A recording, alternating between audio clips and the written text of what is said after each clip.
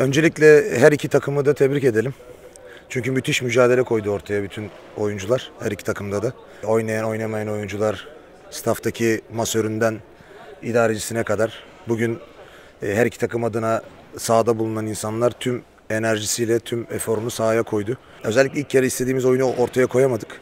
Ama e, ikinci yarıda e, o oyuncular gerçekten ciddi anlamda efor sarf ettiler. işleri düzeltmek adına hem hücumda hem savunmada. Maçın sonunda da kazanan biz olduk. Uzatma olmasına rağmen kazanmak önemli. Oyuncularımı kutluyorum. Önemli bir efor sarf ettiğimizi düşünüyorum. İyi yolda olduğumuzu düşünüyorum. Özellikle geçen hafta Bursa maçında son saniyede kaybettiğimiz maçtan sonra gerçekten kalp kırıcı bir mağlubiyet olmuştu bizim için. Ben yaralarını çarşamba günü Leydin maçında sardığımızı düşünüyordum ama ilk yarı gösterdi ki çok saramamışız.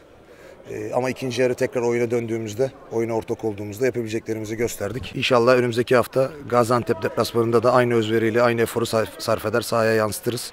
Bizi gelip destekleyen Bahçeşehir ailesi mensuplarına, Enver hocamıza, Hüseyin başkanımıza, Ömer başkanımıza da teşekkür ediyoruz. E, desteklerini esirgemeyip bizi yalnız bırakmadıkları için bu önemli maçta. Tekrar bütün ekibi, bütün Bahçeşehir ailesini kutluyorum. Ee, inşallah önümüzde daha güzel galibiyetler almak adına çok çalışacağız.